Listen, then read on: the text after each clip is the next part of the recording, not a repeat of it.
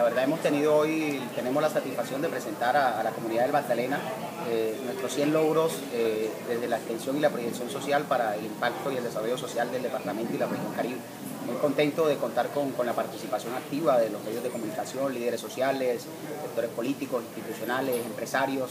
eh, fundaciones e instituciones que han trabajado de la mano con nosotros en estos cuatro años en los cuales pues eh, hemos logrado un impacto importante en las comunidades, hemos logrado eh, consolidar la presencia de la universidad a través de la extensión universitaria en muchas partes del país, pero sobre todo hemos logrado que muchos estudiantes y profesores se vinculen a las labores de extensión y proyección social, generando oportunidades de empleo e inclusión para nuestros estudiantes y nuestros egresados, así como oportunidades de fortalecimiento académico y desarrollo profesional para nuestros docentes y funcionarios.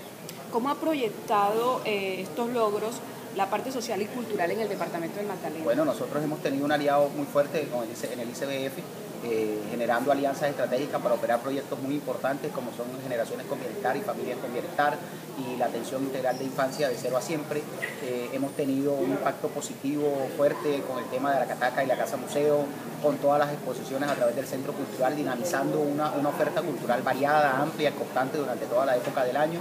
y por supuesto que hemos fortalecido el trabajo de las comunidades, de los diferentes líderes sociales a través de la formación de líderes, eh, de vocales de control, del fortalecimiento de la labor de madres comunitarias. Es decir, hemos tratado de que la universidad se proyecte hacia la ciudad de Santa Marta y el departamento del Magdalena generando capacidades para producir y construir desarrollo local entre todos. De estos 100 logros de impacto, ¿cuál ha tocado sus fibras? Hombre, eh, por supuesto que hay, hay muchos logros significativos, pero yo creo que eh, dos de los más importantes tienen que ver con la posibilidad de que muchos muchachos nuestros estén hoy concursando a nivel nacional en diferentes concursos de emprendimiento, mostrando el talento y la capacidad que tienen nuestros, nuestros jóvenes.